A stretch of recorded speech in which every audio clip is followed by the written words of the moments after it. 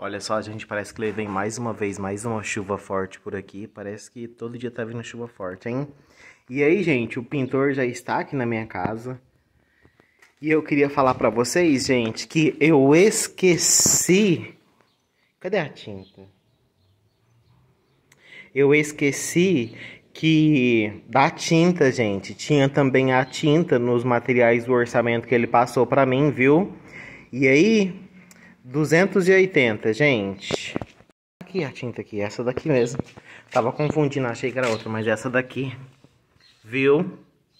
Aí, ó, 280 reais custou essa tinta aqui.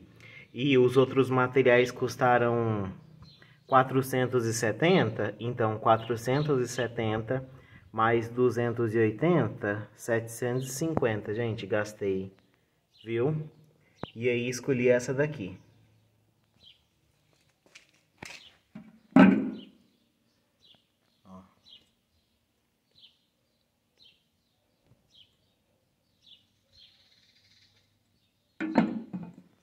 Viu?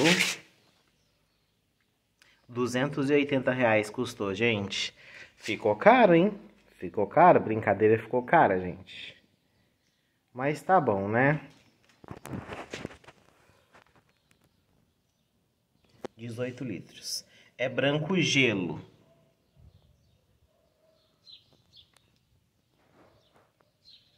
E o pintor já está aqui na minha casa já, tá pintando, gente. Ficou caro, caro, meus amigos. Ai. Só queria aproveitar para falar isso aqui para vocês, que aqui estragou, viu, gente? Isso aqui, ó, puxou o fiozinho e estragou. E aí, a Speednet já veio aqui em casa e consertou. O que que falou? Que dessa vez não vai cobrar nada não. Mas na próxima vez vai cobrar se tiver que vir aqui em casa consertar mais alguma coisa, viu? E se tiver que vir aqui, se alguma coisa estragar, pode ser que eles não venham também no mesmo dia. Já deixou isso avisado já. Aí pedi para colocar aqui até no, no banquinho para não correr mais risco, né, gente? Então está aqui.